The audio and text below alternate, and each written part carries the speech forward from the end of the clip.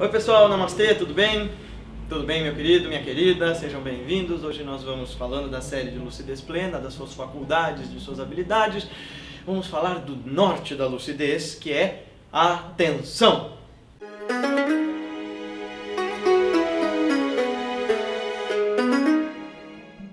Esteja atento. Esteja aqui. Hum, onde é que você está? Onde é que seus pensamentos foram? Hum, quantas voltas ele deu antes de você estar aqui? Respira fundo, se perceba. A atenção é a faculdade fundamental do processo de estar lúcido. Aliás, para algumas pessoas, o professor Alia diz que em Lada Palas, por exemplo, uma, alguns mestres de meditação tibetana, atenção é consciência.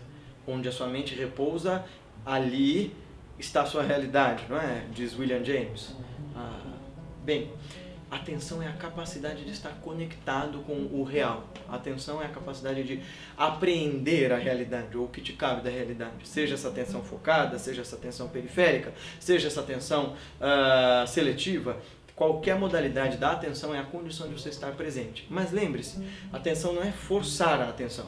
A atenção é algo que acontece entre a tensão e o desmanchamento, nos ensinaria a professora Lia. Tensão é esse estado de forçar a barra, de tentar trabalhar várias e várias noites virado. Isso é tensão. Você até rende um pouco, mas você rende 25% de tudo que você podia, ainda que você não acredite nisso. E você rende mal, você fica com dores no corpo, dores na cabeça, dores morais, dores emocionais. Isso é tensão.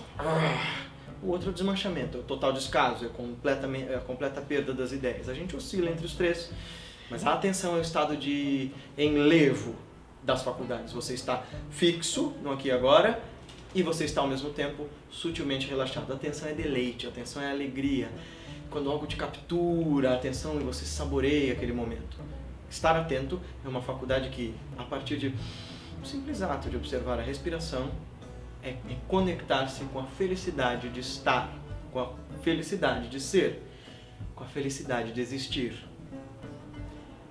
Até o nosso próximo vídeo, Namastê! Gostou desse vídeo? Então, por favor, não se esqueça de clicar no sininho, se inscrever no nosso canal, dar o joinha ali embaixo e divulgar esse vídeo para os teus amigos nas suas redes sociais.